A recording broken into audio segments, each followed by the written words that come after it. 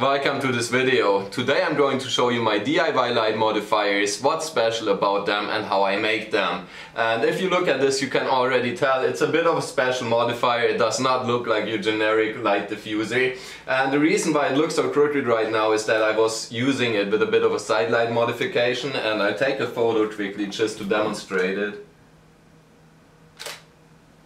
And there we go. And as you can see, it really works nicely as a side light. And that is one of the many reasons why I like this modifier so much, because it consists from two components. And that means it is very flexible and adjustable. You can have it coming straight from above. You can use it with longer lenses. You can increase your working distance. If you were to use extension tubes, you could increase the working distance even more if you wanted to. It holds on and tucks in nicely right on your lens and it is very stable you can move it off to the side and I just found it really really useful. The next thing that's special about it and this makes all the difference is the diffusion material that I use and this is not just any kind of plain white diffusion layer it actually is a tablecloth that I found at Jysk and um, there, there are many um, places where you can find outdoor tablecloths for barbecues and stuff. And most of them have either interesting textures or interesting patterns which would make for cool shadows. But especially if you find something with a three-dimensional texture like this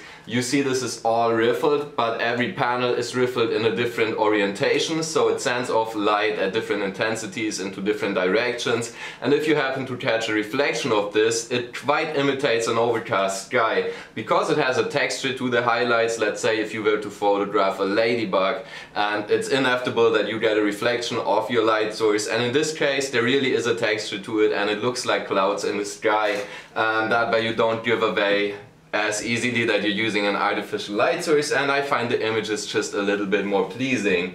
Now, I told you we're going to make one of these today, so let's talk about the materials we'll need. First of all, we'll need a couple cans of Pringles or some sort of um, no-name chips, whatever works.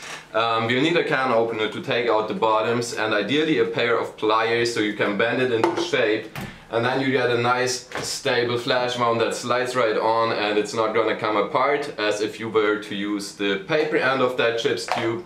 So this is another good idea. Um, besides the Pringles cans obviously we need a sort of screen um, so, something that spreads the light and diffuses it.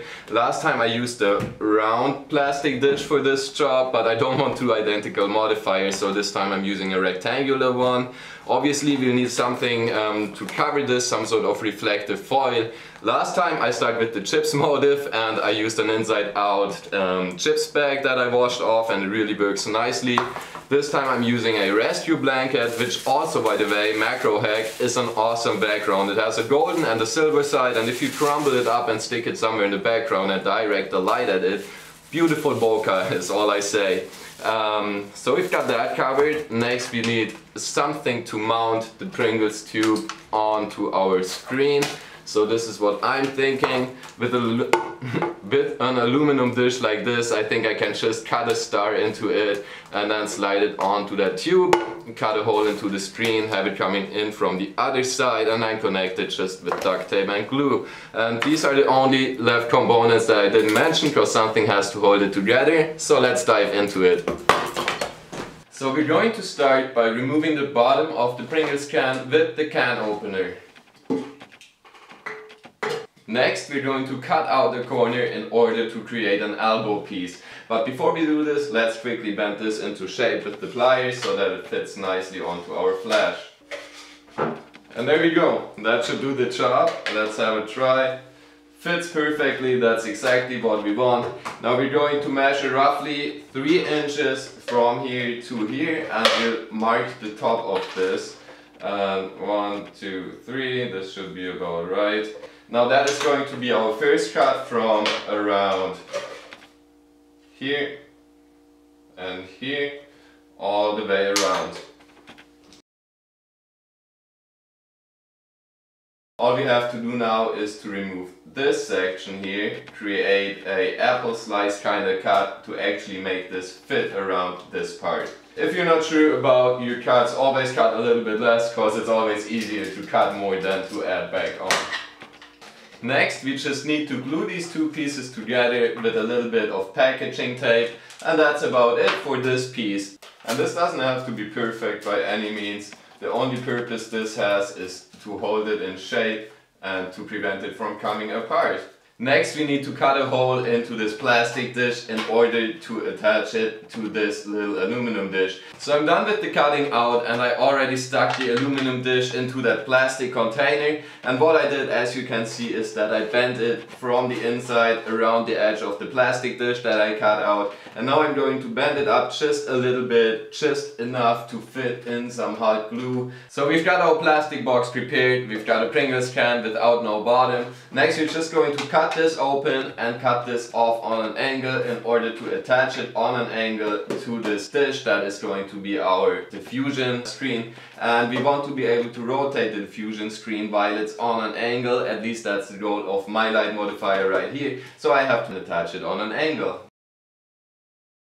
Cutting this piece off really was a game changer because now we're not dealing with a tube anymore but with a flexible joint and we can just slide this piece right in and then really flexibly direct it in all angles and directions that we want to and even though it looks a little bit flimsy right now once it's all stabilized with glue and duct tape it's going to work perfectly well and I'm just going to finish this up with glue and duct tape and in the next step we'll cover this with the reflective rescue blanket.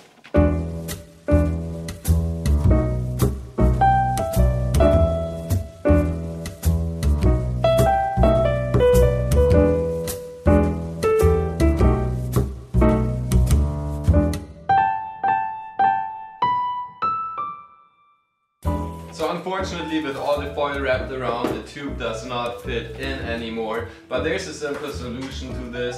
I just cut out a little strip right here and then I used a thumbtack like this to nail it in and with a pair of pliers you can just flatten it down and we've got a pretty solid connection. Now we've got the whole screen covered in two layers of reflective foil. All we have to do now is to put on this diffusion layer and we're pretty much good to go with this part.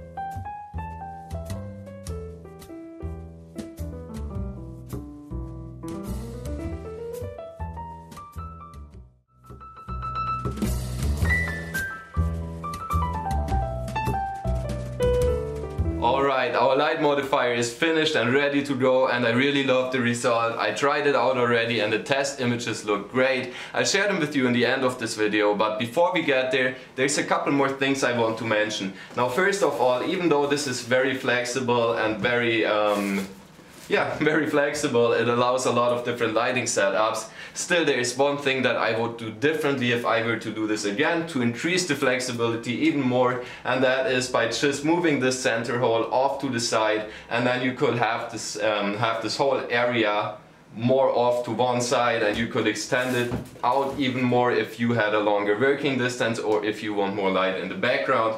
Nevertheless, I'm really happy with this outcome and the images look great. Now the other thing that I wanted to mention is that you can easily put in another diffusion layer for even softer light if it's still too harsh for your liking and I just used the um, the bottom of a plastic cup. I cut it off and then I put some uh, white fabric over it, some very thin white fabric.